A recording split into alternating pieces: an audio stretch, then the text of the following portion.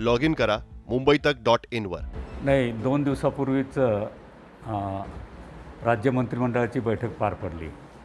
आणि त्या बैठकीमध्ये साधारणतः तिसरी लाट जर राज्यामध्ये आली तर राज्याने कशा पद्धतीनं तिच्यावर नियंत्रण करायचं या संदर्भातली चर्चा झाली.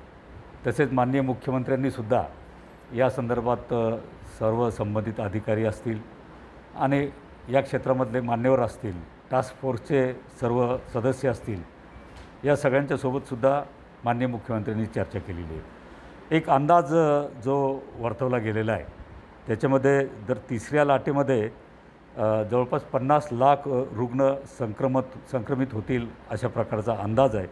आणि त्याच्यामध्ये जवळपास ज्याला ॲक्टिव्ह पेशंट आपण म्हणतो ते आठ लाख त्या ठिकाणी राहणार आहेत. आणि साधारणतः या सर्व पेशंटमध्ये जे लहान बालकांची चर्चा आपण मागील काही दिवसापासून करतो की तिसरी लाट जर आली तर याच्यामध्ये लहान मुलांनासुद्धा जास्त प्रभावित त्या ठिकाणी राहतील. एक अंदाजानुसार एक पाच लाख रुग्ण हे लहान बालकं राहण्याची शक्यता आहे. आणि जवळपास अडीच टक्के बालके हे शासकीय आरोग्य सुविधेमध्ये दाखल होतील आणि साडेतीन टक्के बालकांना रुग्णालयात दाखल होण्याची व बालरोग जे तज्ज्ञ आहेत त्यांचा उपचार करण्याची गरज त्या ठिकाणी पडेल.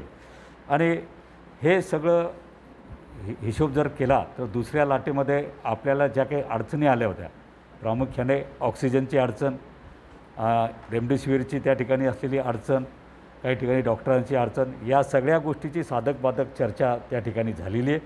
आणि दुर्दैवाने जर तिसरी लाट आली तर महाराष्ट्र शासन हे सगळ्या प्रकारच्या ऑक्सिजनपासून इंजेक्शनपासून डॉक्टर असतील पॅरामेडिकल स्टाफ त्या ठिकाणी असेल या सगळ्या गोष्टीची तयारी महाराष्ट्र शासन हे करणार आहे.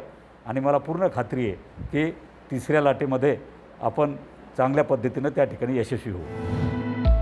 लॉग इन करा मुंबई तक डॉट इनवर